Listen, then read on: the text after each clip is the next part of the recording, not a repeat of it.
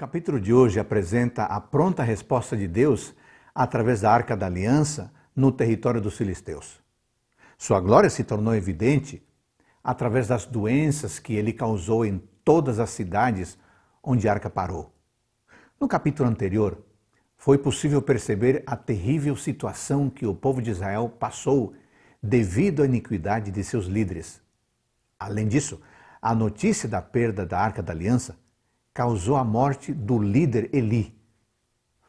Neste capítulo 5, os filisteus se regozijam em triunfo e carregam consigo a arca do Senhor como troféu de guerra. As culturas daquela época consideravam que seus deuses eram superiores aos outros quando os derrotavam em batalha.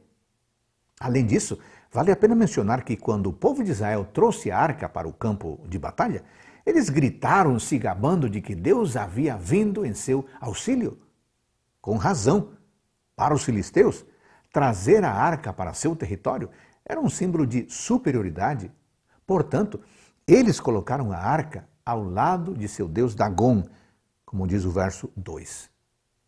Se virmos este ato da perspectiva cósmica, a providência estava no controle. Deus permitiu a vitória dos filisteus, permitiu a captura da arca da aliança.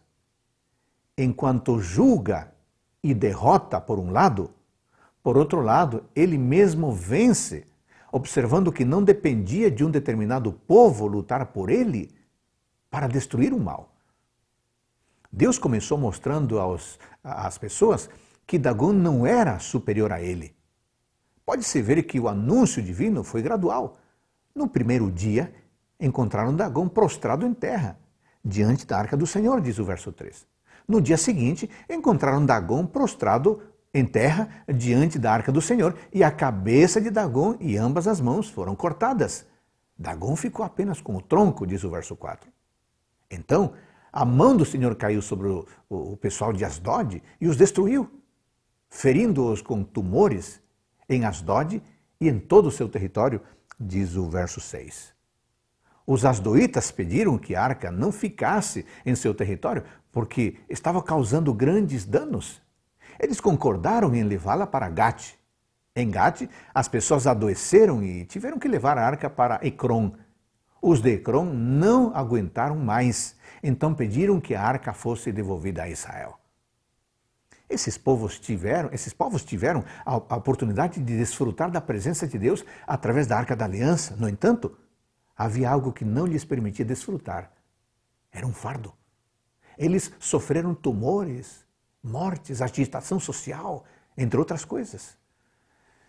Este capítulo é muito interessante porque ecoa a atitude que o povo de Israel teve no deserto quando Deus quis conversar com eles. Eles preferiram comissionar Moisés e evitar ouvir e desfrutar da presença de Deus.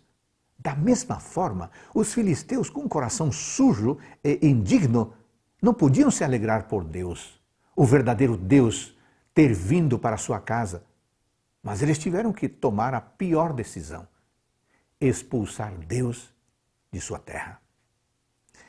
Apocalipse capítulo 6, versículos 16 e 17 aponta eh, para esse tipo de pessoa, aqueles que não querem ver a presença de Deus.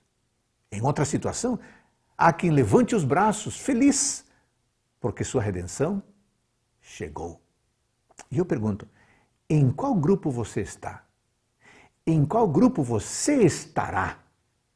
Lembre-se, a presença de Deus é e será um martírio para os ímpios, mas será regozijo para aqueles que foram perdoados e salvos.